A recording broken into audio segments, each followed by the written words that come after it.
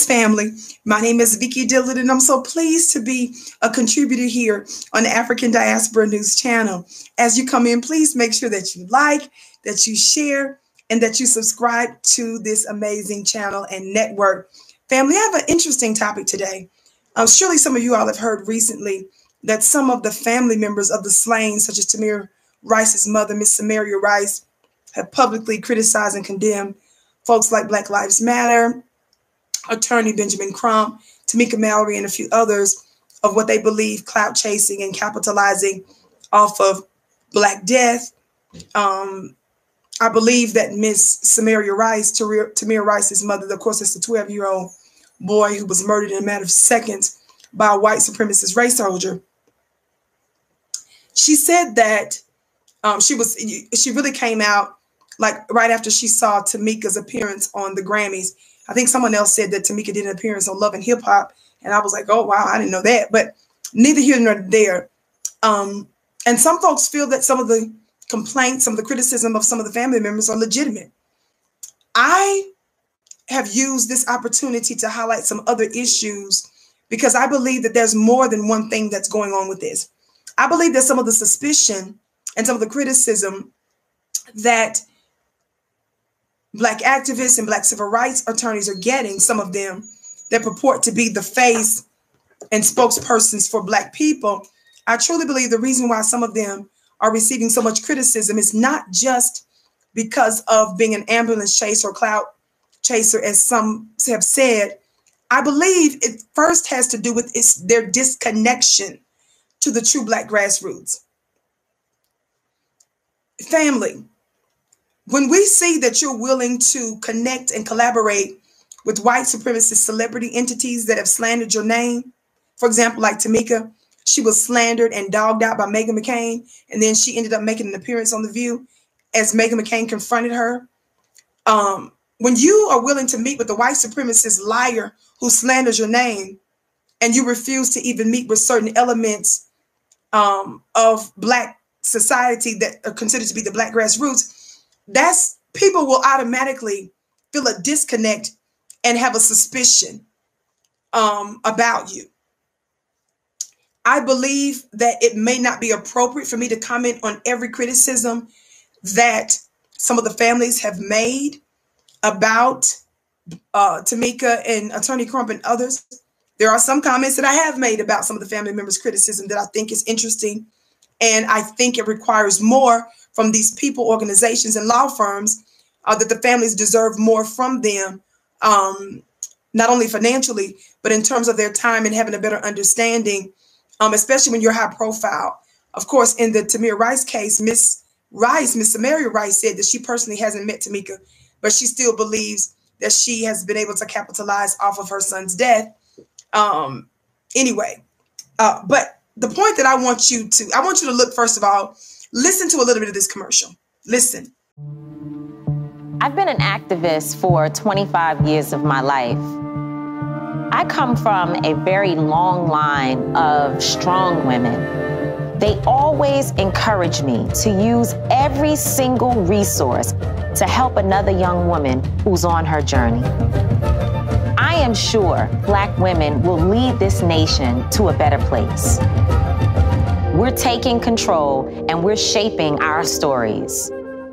Now, in the beginning of the scene, y'all see that? Y'all hear that? In the beginning of the scene, Cadillac has Tamika coming out what it appears to be uh, one of their Escalades. It just looked like Tamika selling Cadillacs. Tell the truth, shame the devil.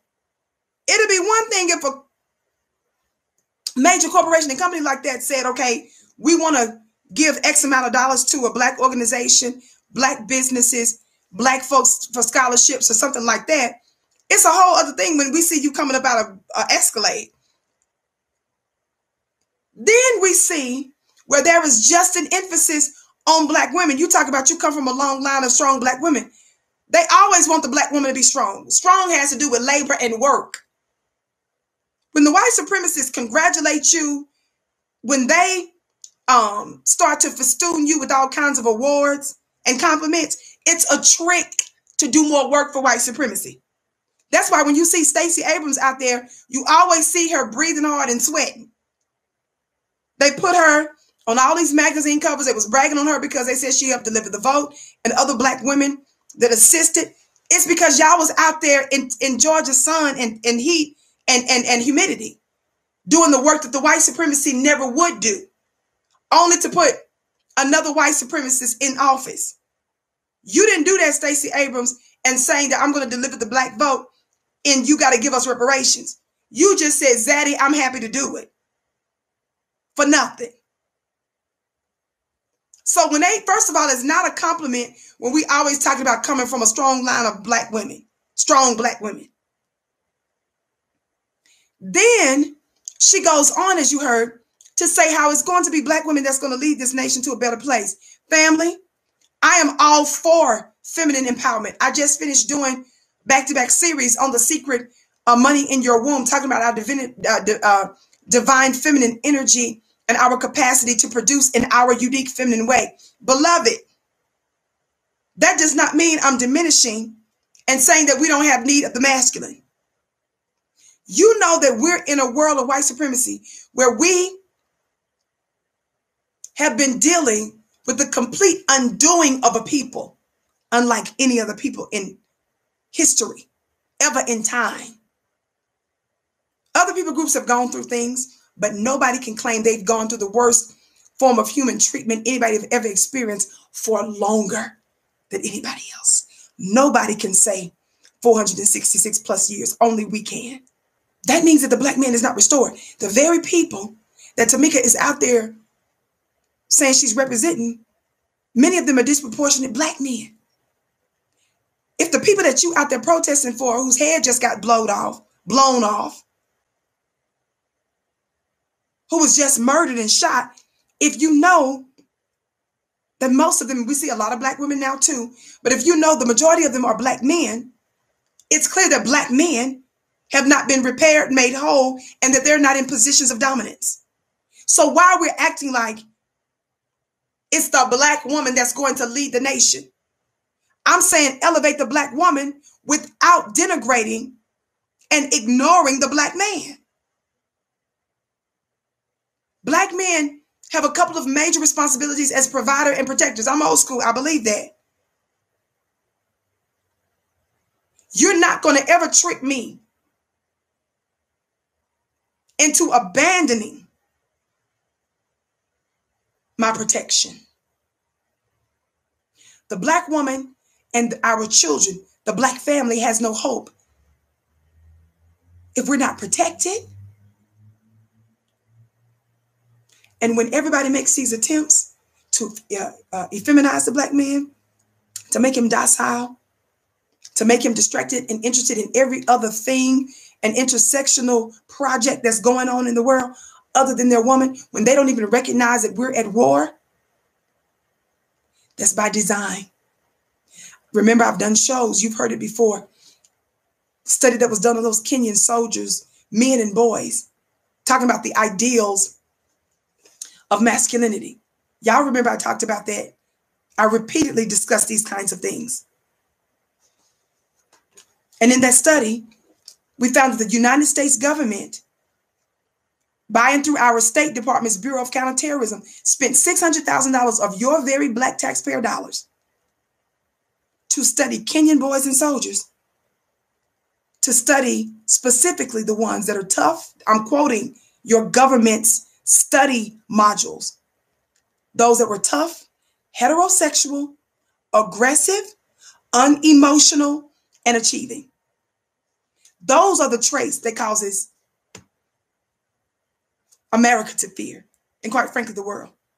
What is America going to do with that $600,000 grant to study those African boys and so uh, men?